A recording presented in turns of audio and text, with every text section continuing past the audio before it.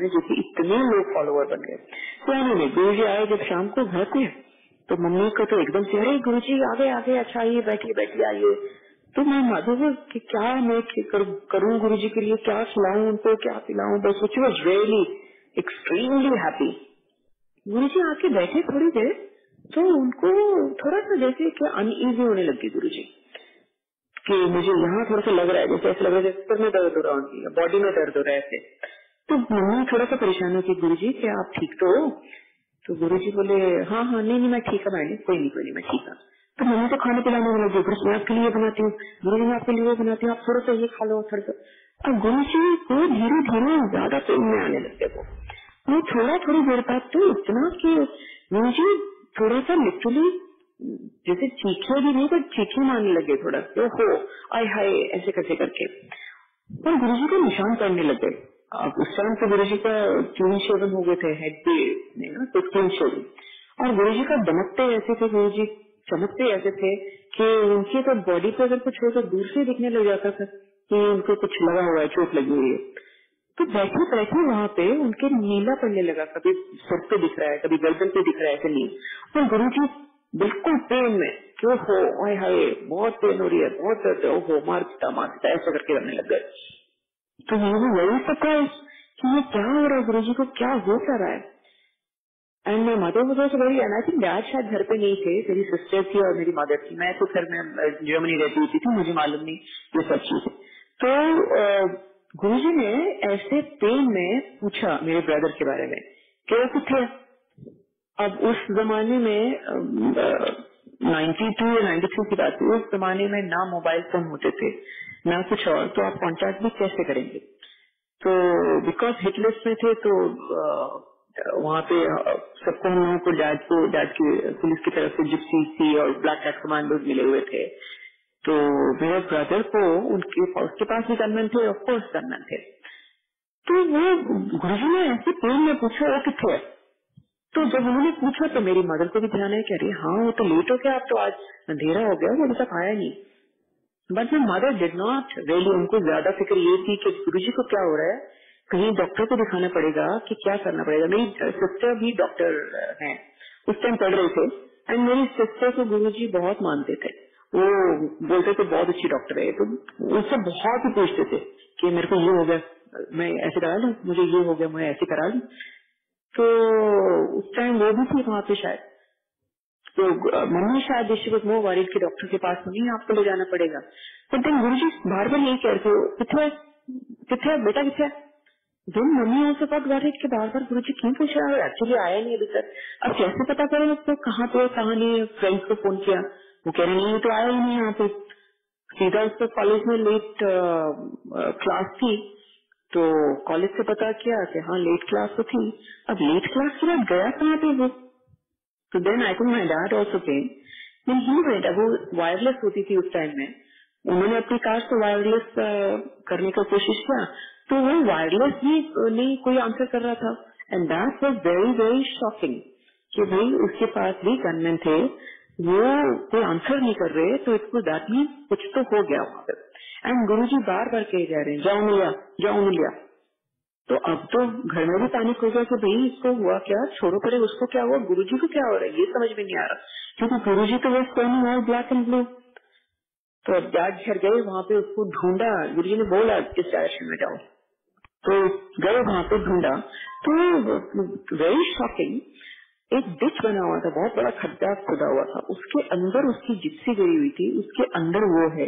Terrorist ने उसको मारा पीटा काफ़ी, मारा मुरा उसको काफ़ी। और वो डिच के अंदर ऑलमोस्ट बेहोश। तो उसको तो डैड वहीं से हॉस्पिटल ले गए। अब गुरु जी वहाँ घर में बैठे हुए हैं। उनको चोटे पे चोटे लगी जा रही है। और मेरे ब्रदर जो था, वो आदि बेहोश के हालत में था। उसको तो डैड हॉस्पिटल ले गए। अब डैड ने वहाँ से मॉम को फ़ोन किया कि ऐसे ऐसे करके उसको चोटे आई हैं और वो हॉस्पिटल में तो मैं मदर में शक कि ये क्या हुआ? तो गुरु जी ने उस टाइम गुरु जी ने कहा, और मम्मी, मैं सोच रहे मैं कैसे जाऊँ हॉस्पिटल में, कैसे जाऊँ? गुरु जी, यहाँ पे इतनी तकलीफ़ में है इनको छोड़कर मैं कैसे जा सकती हूँ? गुरु जी ने तकलीफ़ वकलीफ जो थी इतनी तकलीफ़ उठाई, इतनी ज़्यादा कि लिटरली चीखी निकल रही थी कि क्या हो रहा है? हो, बचा लो, हो, बचा लो, ऐसे करके। एंड थोड़ी देर में गुरु जी को फाइन तो उन्होंने कहा, ना, जा, तू जा, अपना काम कर। ये नहीं कहा हॉस्पिटल जा, कि क्या कर, कि क्या नहीं कर। गुरु जी ने कहा, जा, सब ठीक हो जाएगा, अपना काम कर। एंड गुरु जी चले गए। उसके बाद मम्मी गए हॉस्पिटल तो आप ये यकीन मानिए कि जहाँ जहाँ मेरे ब्रदर को चोटें थी, वहाँ वहाँ उसके ऊपर तो शायद निशानी था गुरु जी ने सब चोटें अपने ऊपर ली। इतना पेन उसकी वजह से गुरु जी ने अपने पिल्लू के सहा। एंड उसको डेफिनेटली चोट तो आई, लेकिन जितना गुरु जी पेन सहन करके बैठते, उसके साथ थे। उनके हाँ मुझे थोड़ा सा दर्द हो रहा है। तो इट वॉज़ लाइक शॉकिंग कि गुरु जी कैसे अपनी संगत को कैसे अपने पे लेके अपने हम, हमारे सब संकट, हमारे सब दुख, दर्द, गुरु जी अपने पे लेके कैसे हम लोगों को जान देते हैं, कैसे हम लोगों को खुशियाँ देते हैं। इट इज़ इनक्रेडिबल बिकॉज़ कौन ही ऐसा है, कौन ही ऐसा गुरु है, कौन ही ऐसा है कि ये तो शायद माँ भी, माँ बाप भी भगवान से जब मांगते हैं कि मेरे बच्चे की दुख तकलीफ़ मुझे लग जाए तो वो भी शायद एक बार तो हिचकिचाते होंगे ये बात करने के लिए। राइट गुरु जी का आप ये देखिए किस हिसाब से वो एक एक संगत को, और ऐसे नहीं है कि हमने कोई बहुत ही मुझे तो समझ नहीं आता जो हम कर्म कर रहे हैं वही है, अच्छे हैं, बुरे हैं, क्या है। तो ऐसा भी नहीं है कि बस इतना हमने किया हुआ है हमारे कर्म ऐसे हैं कि बस गुरु जी ने हमें करवा दिया। पर आप ये देखिए एक एक संगत का गुरु जी कैसे हिसाब रखते हैं कैसे आ, अपने को लेके उनको लाइफ देते हैं। लिटरली वो लाइफ देने वाली बात है। कितनी बार हमारे साथ इंसिडेंट हुआ है कितनी बार मेरे डैड के साथ इंसिडेंट हुआ है कि गुरु जी ने उनको बिठाए रखा अपने पास। और थोड़ी देर बाद पता चला कि जिस रास्ते से उन्होंने जाना था वहाँ बॉम्ब ब्लास्ट हो गया तो यू नो ये बातें हमें नहीं पता लगती। ये हमें बातें पहले, और गुरु जी ऐसे ही बताते थे कि मत जा तू, वहाँ पे बॉम्ब ब्लास्ट होने वाला है। ना गुरु जी ऐसे नहीं बताते थे। गुरु जी ये कहते थे, ना अजय ना जाओ। बैठो, फिर बैठो। ना ना अजय तो फिर बैठो। कोई ना, फिर बैठो। लंगर आ रहा है, प्रसाद आ रहा है चाय आ रही है, लड्डू आ रहे हैं ए खाते जाइए, वो खाते जाइए। वो इस हिसाब से बिठाते थे। अब मुझे ये लग रहा है कि ये भी हमारा देखिए टेस्ट ही लेते होंगे गुरु जी कि मैं हमें, अगर ये बता देते कि हाँ अभी तुम्हारा एक्सीडेंट होने वाला है, इसलिए मैं तुम्हें बैठा के रखा हुआ है तो नेचुरली डर के मारे हम बैठ जाते राइट कोई भी बैठ जाए। बट गुरु जी हमें भी टेस्ट कर रहे थे कि भाई तुम कितना कहना मानते मेरा, कितना मान रहे हो तुम मुझे राइट तो वो टेस्टिंग तो चलती होती थी। गुरु जी अपना पूरा टेस्ट लेते होते थे। और गुरु जी ये भी कहते थे कि तुमने भी मेरा टेस्ट लिया तुम भी मेरे को थोक बजा के अब तुमने गुरु देखा है। तो भाई जब अब तुमने एक बार ले लिया मेरा टेस्ट फिर उसके बाद आप लोग मेरे हो गए हो। उसके बाद मेरी जिम्मेवारी है आप पे। आपकी जिम्मेवारी ये है कि जो मैं आपको कह रहा हूँ, वो मेरी बात मानो। तो गुरु जी हमेशा कहते थे कि मांगो मत, मांगो ना मनो कि मांगिए मत, मेरी बात मानिए। और वो मानिए में आप किंतु परंतु तो नहीं करेंगे, करना भी नहीं चाहिए। किया? तो फिर आप आपके सामने हो जाएगा। मगर फिर भी गुरु जी था डांट पीट के बिठा देते थे गुरुदेव। नहीं नहीं हमें जाना नहीं उन्हें। फिर पता नहीं लगता, नहीं जाना फिर आई। तो एक मतलब लिटरली एक एक स्टेप पे कैसे गाइड हमें करते होते थे it is unbelievable it's unbelievable तो ये सब सत्संग जो है, इतने हैं गुरु जी के तो एक एक दिन के यू नो मतलब राइट मेरे हिसाब से तो मेरी मैरिज से लेके, मेरे बेटी के बर्थ से लेके अब आगे उसको भी कैसे हेल्प कर रहे हैं? इट वॉज़ अनबिलीवेबल अब मैं एक छोटी सी आज बताती हूँ गुरु जी का बर्थडे सेलिब्रेट करने के लिए। आज मैं फ्लावर्स लेने गई। मैं नया नया गुड़गांव में शिफ्ट हुई हूँ तो मुझे मालूम नहीं कहाँ पे क्या मिलता है, क्या है। तो मैं फ्लावर्स लेने गई, मुझे मालूम ही नहीं कहाँ से मिलते हैं। एक बड़ा यहाँ पे है सेक्टर फिफ्टी सिक्स में फ्लावर मार्केट तो बहुत ही शैक से लग रहे हैं, कुछ खास तो था ही नहीं वो लिटरली तो मैं फ्लावर्स लेने गई, उसमें सेकंड शॉप पे गई तो उसने कहा, आप ले लीजिए फ्लावर आज तो बहुत फ्लावर्स आए हैं कल तक तो बिके, मिलेंगे ही नहीं। तो मैंने उससे पूछा ऐसे ही, मैंने कहा, क्यों, कल तक क्यों नहीं होगा? तो ये तो अरे कल तो पाँच जुलाई है ना। लाइक लिटरली कि उसके मुँह से ये लग रहा था कि ये तो बात पता होनी चाहिए। सात जुलाई है भाई, कल तो फूल कैसे मिलेंगे तो, तो सारे गुरु जी का तो मैंने कहा जुलाई है तो क्या है? कह रहा अरे गुरु जी का बर्थडे तो वो बिल्कुल ही अनपढ़ बेचारा आदमी। तो मैंने उनको कहा मैंने कहा हाँ गुरु जी का बर्थडे है। तो मैंने कहा आप भी मानते हैं गुरु जी को? तो उसने मुझे एक बड़ा सारा स्वरूप उन्होंने गुरु जी का लगाया हुआ है और उसने मुझे उधर दिखाया क्या ये देखिए गुरु जी को तो हम मानते हैं। तो मैंने उनको कहा मैंने कहा गुरु जी को तो मैंने भी उनको कहा मैंने कहा गुरु जी को तो हम भी मानते हैं और मैंने कहा गुरु जी ने मदर को अपनी बहन बनाया हुआ था। तो वो बेचारा, देखिए, इतना बेचारा अनपढ़ गरीब लड़का, इतना बेचारा, ओहो, वो इतना झुक के वो कह रहा अच्छा जी अच्छा ओ अच्छा अच्छा। तो मुझे ये कह रहा है, कहता, आप ये देखिए मैडम, कि हम तो मेरे बॉस तो साल भर से ही जाने लगे हैं। तो कह रहा, पहले तो हमारा कुछ बिक्री नहीं होती थी, हम भूखे थे, बिल्कुल ही। अब कह रहे, पता नहीं कैसे साल भर से जाने लगे हैं मेरे बॉस गुरु जी के पास। तो कह रहा, आप ये यकीन मानिए, दो घंटे में हमारी सारी बिक्री हो जाती है।